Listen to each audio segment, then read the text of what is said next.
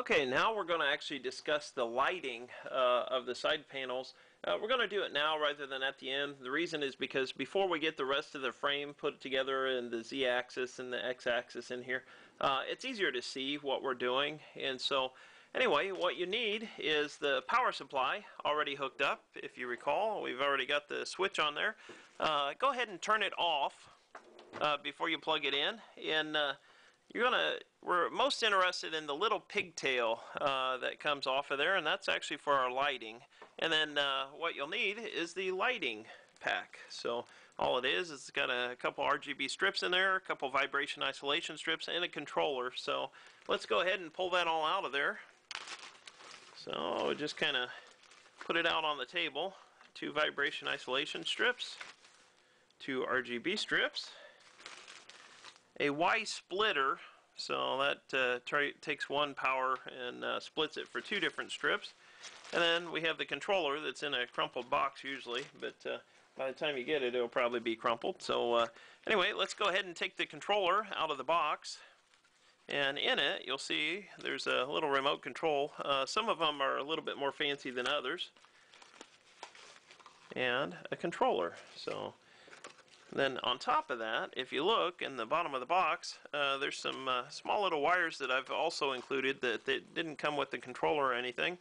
Uh, those are for experimenting, and uh, if you want to see some of the lighting effects that I got, uh, you'll need some of these, and I'll show you in a minute how to use those.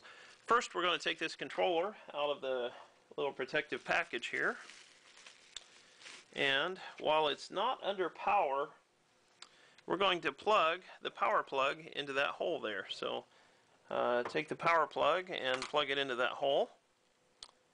And if you look, this has a little black dot on there, and that's actually the IR uh, infrared uh, you know, control um, signal from your remote control uh, goes there and uh, you can see that. The other plug that's on there, that is actually the power plug for the strips. And if you look, every plug, uh, it's very hard to see especially on the white one, has an arrow on one end or the other. That arrow uh, means black or it means the common for each of these strips. So what we're going to do is we could hook one individual strip in. You see it's got black on one side um, there and we could hook that in there uh, but what we're going to actually do is we're going to go ahead and we're going to hook the splitter in there. So what you want to do is make sure that the two arrows line up and once they're lined up you just kind of wiggle them together and there you go.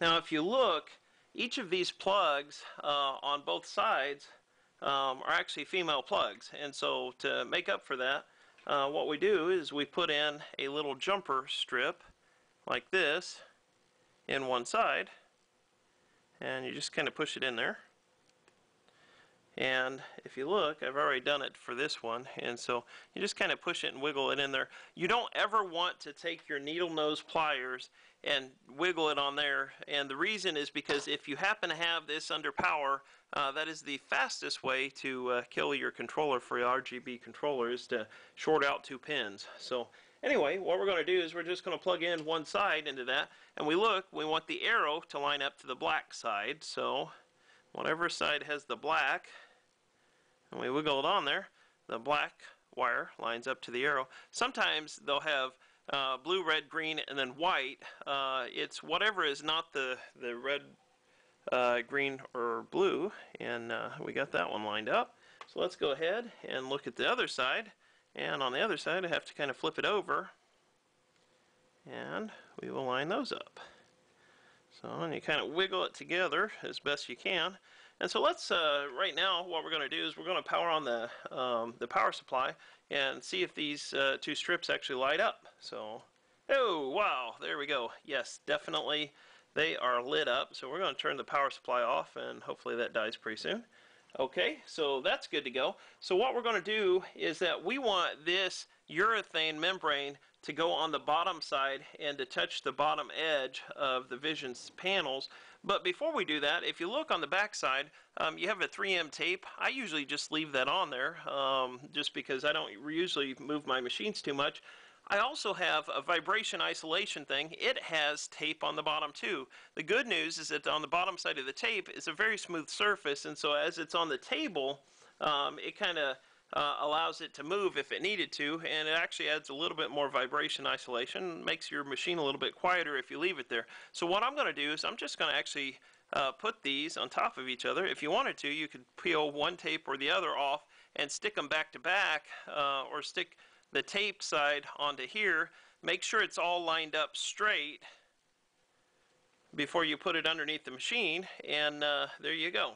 And if you wanted to, you could actually uh, use a little bit of your Kapton tape to tape the edges of these onto the machine. That way, when you pick up the machine, the whole thing stays together. Uh, but uh, anyway, what we're going to do is we're just going to put this as is underneath the side panel. So we're going to kind of line these up. And I'm doing this backwards. I'm actually showing you from the front side. Normally, you would have all the power supply and all that on the back side of it.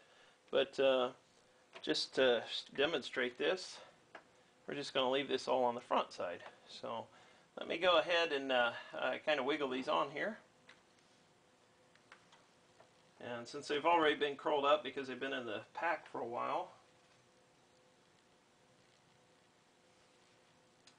what we're going to do is just line it up and put it underneath there. And what you want is it to line up just dead smack right up underneath the half inch uh, acrylic or 12 millimeter acrylic on both sides. And so you end up you know, doing a series of tapping these things back and forth uh, to get it to line up. And if you're good at it, I'm still not that great at it, then you get it to line up just perfectly.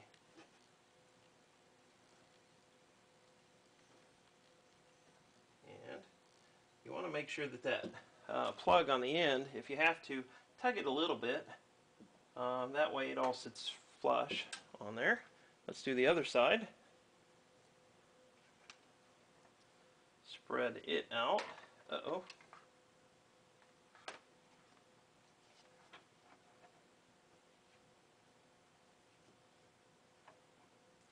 You can always replug it back in here in a minute. And so, that up.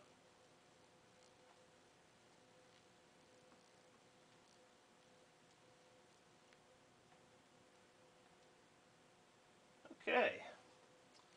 So there we go. We got both sides done. And uh, what you'll probably want to do is uh, wire tie these to the frame um, so that it actually stays on there and it doesn't jostle off there. Let's go back through and uh, make sure that the arrow lines up to the black. And if you needed to, you could actually Kapton tape those together. We're going to get rid of these extra little leads out of here because we don't need those right now. Let's turn this back on and see if our panel lines up. I didn't quite get the vibration isolation thing squared up underneath there, but for test purposes and just to demonstrate this, uh, that's what we're going to do. And by not taping them down when I'm moving it, it's kind of a little awkward. So it'd be a, be a, better idea to tape it down. But uh, anyway, let's line up this thing a little bit better. Okay. So let's just turn this on and see if we get their uh, strange lights again. Oh, there we go. Wow. Okay, so let's use the remote control uh, and uh, turn it to a solid color. So right now, both sides are a solid red. Uh, you could change it to green. You could change it to blue. Uh, you know, you can change it to uh, flash, you know, like it was on, or strobe, and you can control the intensity of them. You could change it to fade, where it actually changes the different lights to different you know, uh, at different times, uh, or you can have it uh, with a different thing. Anyway, it has a couple different things on this control, and anyway, if you want, for solid colors, it's not a big deal. If you want to find out how I did it for I had different colors, let's turn the power supply off. And so wait till the um, uh, voltage goes low enough that it actually knocks out the LED strips. And then what I did was I took one side of these and I switched the red and the blue. So we're going to go ahead uh, and make sure that power supply, unplug all the plugs that you have to, and uh, we're going to pull out the, the little jumper that's there and get that out here.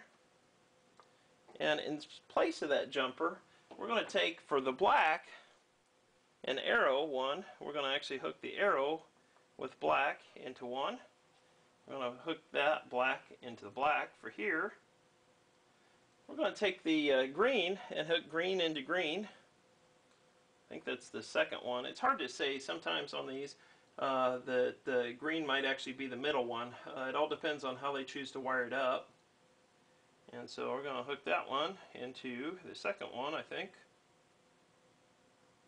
And then what we're going to do with the red and the blue, we're going to actually switch them. So whatever, say the last one will be red, which is actually uh, blue. And then we're going to actually switch that to the red position on here. So we're actually just kind of crisscrossing it. And we're going to do that with the blue. So what we've done is we've then uh, rewired our path here so that uh, now when this side thinks it's red, this side will actually go blue. So uh, let's turn it back on and see what we get. So green is going to be the same. Then when we switch to blue, it's red and blue. When we switch to red, it's uh, blue and red. So uh, anyway, so that way you could have it go back and forth. Uh, weird thing is when you change it for different panels and stuff, um, for different colors, uh, it actually changes the colors on the both. So once it hits towards the green, uh, they line up, but on the, any of the other colors, they're slightly different. So um, anyway, so let's uh, see. So there's red and blue, and here's some of the other different colors. Like there's orange and blue, uh, green and sort of weird colors. Anyway, that's just uh, the way that I used it to be able to switch into two different colors. So you can play around, get all sorts of different colors uh, if you want to, or you can keep them both the same. Uh, but uh, that's how I got the first panels to look like that.